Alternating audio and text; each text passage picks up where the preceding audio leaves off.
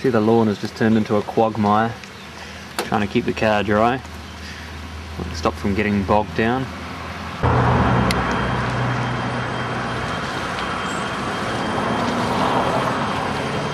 This is our mud pools over lawn, so Gavin is helping me by putting the car on top of the driveway so I don't get stuck.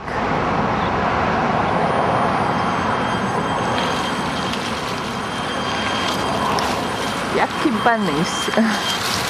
we have weather uh, rain warnings today, so fun times.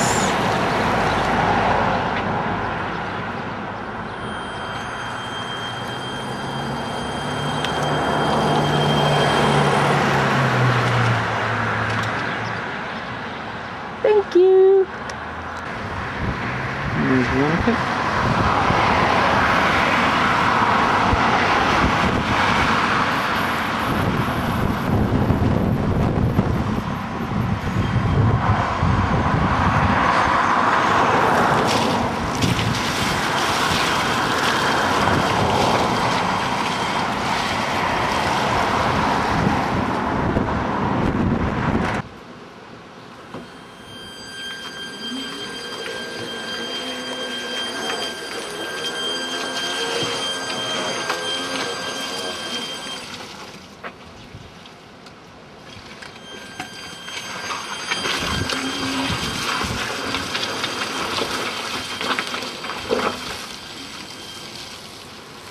Yep, you're just looking at our front section after about a month of rain.